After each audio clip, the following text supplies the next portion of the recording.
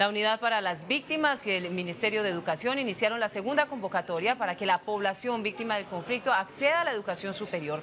En esta oportunidad, por lo menos 600 víctimas podrán beneficiarse con créditos condonables, como lo estipula la Ley 1448.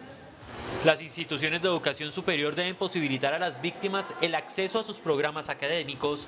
Además, el ICETEX debe incluir a la población víctima del conflicto dentro de sus líneas especiales de crédito y subsidio, como lo estipula la Ley 1448 de 2011. Es para víctimas incluidas en el registro y que estén ya aceptadas, admitidas en alguna de las universidades del país, acreditadas ante el Ministerio de Educación o institutos educativos donde eh, ya estén cursando también eh, algún semestre y no tengan la forma de seguirlo pagando. Los beneficiarios podrán contar con el crédito durante toda la carrera universitaria, siempre y cuando cumplan con los requerimientos académicos de las instituciones educativas. Hagan un compromiso con las otras víctimas y que trabajen por parte, desde su propia experiencia, desde su propio aprendizaje, en eh, donar tiempo, en contribuir con el voluntariado eh, que trabaja con las víctimas por parte de la unidad. Eso es como una forma de retribuirle a otras víctimas lo que han logrado ellas. Esta oportunidad que brinda la Ley 1448 a las víctimas